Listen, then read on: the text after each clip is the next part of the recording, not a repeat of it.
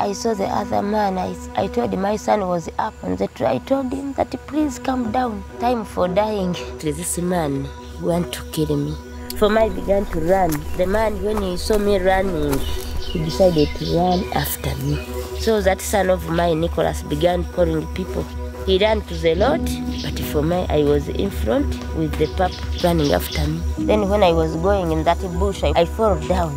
Then Charles got me and held my hand where the panga was. Began to tell me, today I am to finish you. Today, today I have to kill you. When Charles saw that there are people who are coming, he tried to get the panga very speedy to kill me, but the panga, I was also steady on that panga. He failed to get that panga very speedy as he wanted. Even the panga cut this finger of mine here in the struggle. On that day, Charles was also to finish me, but God was on my side. My name is Tumushabe Claire Glorious, and this is my story.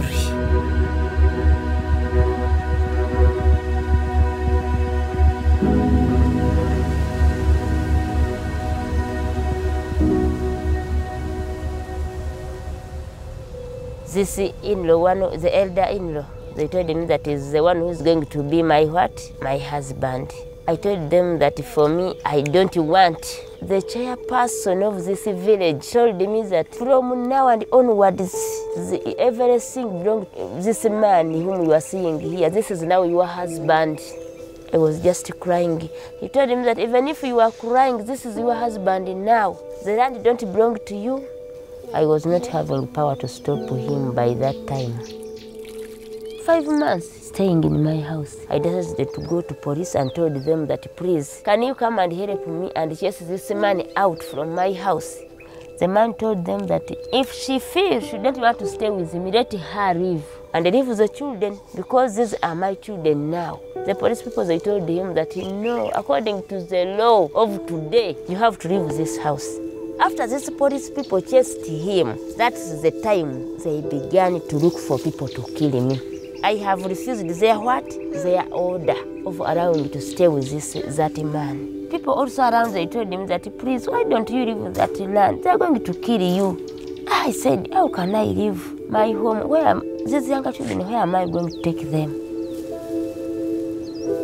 I was putting the saucepan here, telling my children to come and gaze and eat food. And it was going to, to dark, darkness was coming. And people, they came on a, on boda boda motorcycle. Others were behind my house, others were down here. I first eh, make this alarm with my mouse. That we, we tried to run away.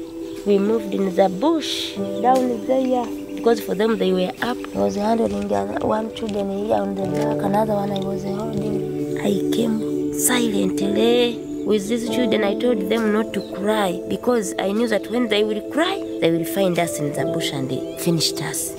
So we ran slowly, slowly until we reached to my neighbors.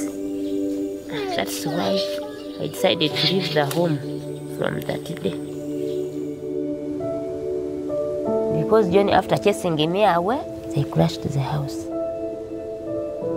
Because of the problems I have got, what I have seen, I was not having any hope. My children, they don't have anything in this world.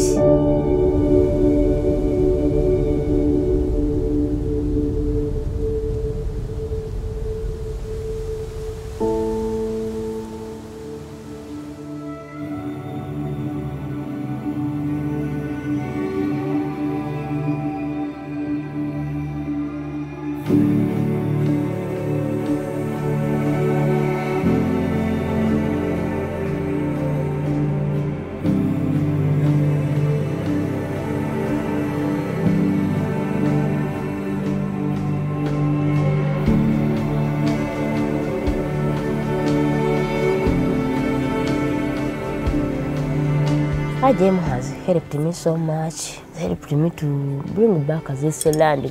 I'm happy because I have come back to their father's land. I felt very happy to have a new home. Even my children, was very happy. They asked me, hey, mom, now we have where we can sleep. I said, yes. Now God has helped you. You have got your home.